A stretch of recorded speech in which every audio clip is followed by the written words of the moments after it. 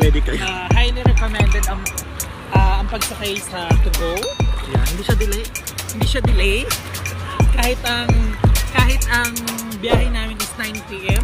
11 p.m. kami nakasakay. Actually, 12.30. Ah, yeah, yeah, 12.30. Tsaka pagdating dito, dapat, ano, dapat uh, nakaready yung panty nyo.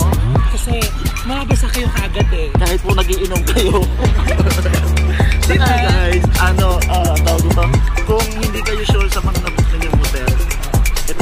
Dami account, li- like, um, dami booking yung gawin ninyo. Ng Yes, ginagawa yes. namin. Pero ang ginawa namin And it's sa... more cheaper, Yeah. more not cheaper pa.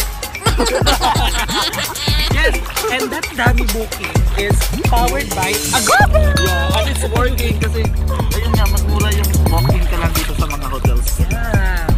Mas mura siya kaysa sa mga sa mga travel apps, mga booking Oo. apps. Pero pag nag-walking kayo, mas. Pero, syempre, pero syempre, ang pinaka-pricey talaga at pinaka-expensive talaga ng mga hotel dito, number one is Hunan, La Carmela, The And we District. stayed in La Carmela de Boracay. Yeah, ngayon nasa La Carmela kami. Nakuha namin siya for 5,130. Good for two nights! And we're four persons. Yeah. Hindi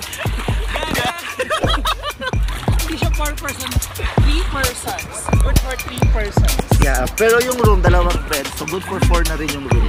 And may, dala, may kasama siyang free breakfast. Maganda, maganda ang ano, maganda ang binigay na accommodation ng La Carmela de Boracay. Ay, what's that? Oh gosh! Ay, akala ko, ah, ano pa dito?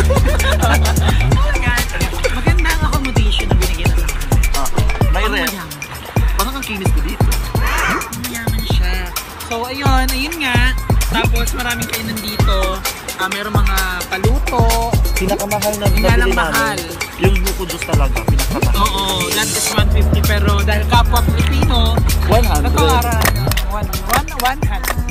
Yes, ah, nandito kami sa Station 2 Boracay. At nakita nyo naman, Yung background Ganda. sunset pa siya. ganda. Ah, Sobrang ganda ng tubig, ang linaw. Clear, clear, clear, clear water. Talaga. And this is our last night here in Boracay. Kasi tomorrow, ah, uwi na kami. For the trabaho ulit, trabaho again. And, ano ba? trabaho lang kami kasi nga gagala ulit kami. Magmamihan na kami. Yeah. At saka, ah, tips lang pag pumunta ka dito ng Boracay. Ah, pwede kayong gum- gumawa ng daming booking para at least makapasok kayo. Yes guys, and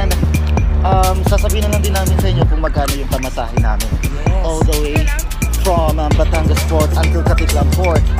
Nakuha namin yung pamasahe namin via to go like for 862 peso one way. So mas Saka mas, ano, mura siya. Mura over siya. nag-print ang plane. Highly recommended and to go. At never na delay ang to go. Never. Yeah. Tapos, pag, ah, para, sa Boracay. Pag wala kayong accommodation, sa. Yes. Ginawa namin para makapasok kami dahil nga medyo mahal, gumawa kami ng daming booking, which is, uh, pinrint namin yun, pa, and, and, and then for nasabi namin, ah, nakapasok. So, ang tawag dun, modus. ah, Bobby. Yun ang pinaka-perfect na suggestion. Mag-modus kayo ng bookings. Oo. Then, after nyo makapasok sa Boracay, pwede kayong mag-walk-in dito. Oo, mas mura yung offer nila. Yeah. Pag nag-walk-in kayo, ha? Kaya ma- mas mura pag nag-walk-in kaysa magpunta kayo sa mga booking apps or travel apps. Mas okay to. Saan nga ba tayo nag-stay? Ha? Yeah, nag-stay kami dito sa La Carmera de Boracay. Hotel and Resort yung Dajan Center. Kompleto! Di ba? After nakaha namin siya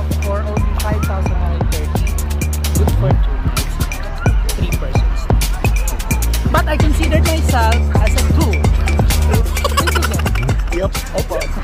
so ayun, then yung mga kainan dito marami rin. Siyempre, yun na nga lang, usual, mahal ang price. Kaya kailangan mo talaga magalap. Pero, masarap naman. Yun nga lang, mahal. Tapos yung nightlife dito, perfect din naman. Yeah, perfect ang nightlife dito. Maraming abang! Wow! Sa mga kaano ko dyan, maraming abang dito. Bagabago ang buhay nyo dito. Kaso sobrang aga naman ang tapos. Like mga 12 o'clock in the midnight. Wala mo.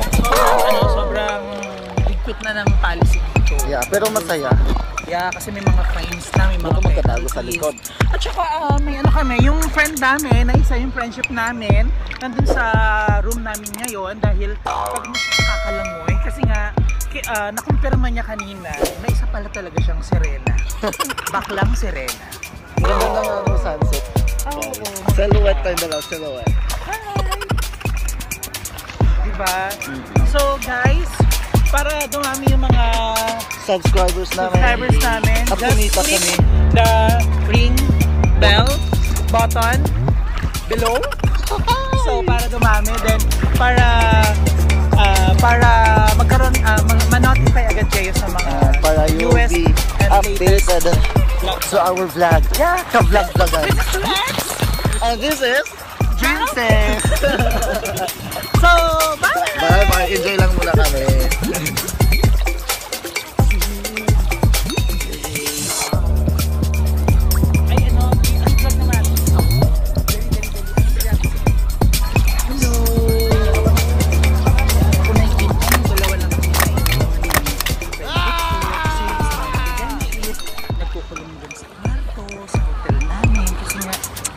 Ayaw niya kaming kasama. At ayaw namin siyang kasama kasi nga, bakla siya. Bakla siya. Baklang bakla. True. Ha? Tsaka ano siya, Philip, ang dumi-dumi niya. Kasi ang itim-itim ng balat niya. Ah, Hindi namin naintindihan yung besi namin na yung bakit ganun siya. Tapos minamatanda na siya. Oo, lagi na lang siyang napapagod. Hindi namin alam kung bakit. Minamatanda na siya. Swear, matanda na talaga yung besi namin. Ano pangalan nun? Samuel? Samuel. Oo. Pero, serena siya ha. Oo. Hindi siya tunay na lalaki kasi bakla siya. Pero, bakla! mabenta siya guys. Mabenta siya. Kaya ako ako sa inyo, Kunin just. PM me or PM Jam for, For inquiries. Yeah, for more details at para About- malaman nyo kung para malaman nyo kung magkano ang rate. Yes, yes. Mura lang po siya. Oo, bali ano siya, ah, ang service na ino-offer niya is ah, shiatsu massage.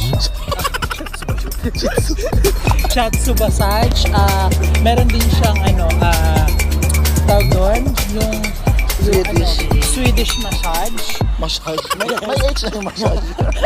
At meron din siyang ino-offer. Oh, may add-ons po siya. Yeah, meron siyang na-offer na ano talaga, uh, ang tinatawag nila dun yung ano eh, uh, erotic massage. Come on! Yes, nag-offer siya na Tapos, kung gusto mo ng add-ons, uh, meron siyang, ano, ito package na to ha, package to, massage plus extra service.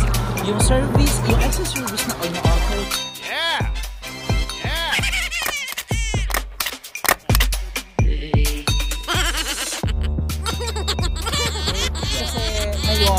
8.30 kayo. Sumasa ilalim siya sa Almoranas. So, so uh, ayun, para, para gusto, kung gusto niyo malaman kung magkano yung rate niya, just PM us, okay? Para uh, maliligayahan kayo. Oh, yeah. Okay? Oh. Some, i-add niyo siya sa Facebook. Something, Something mix.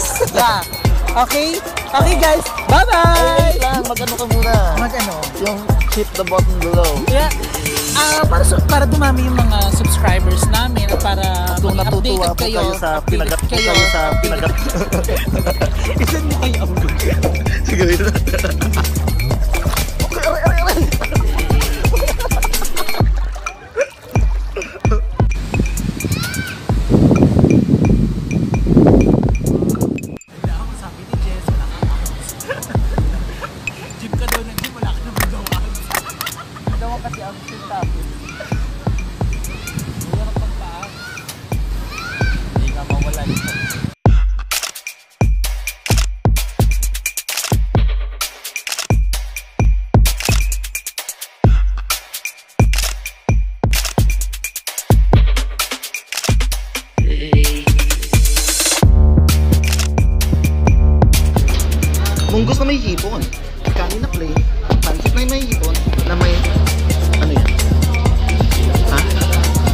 Gulay eh.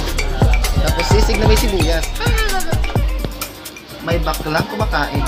Ang gandang pretty, oh.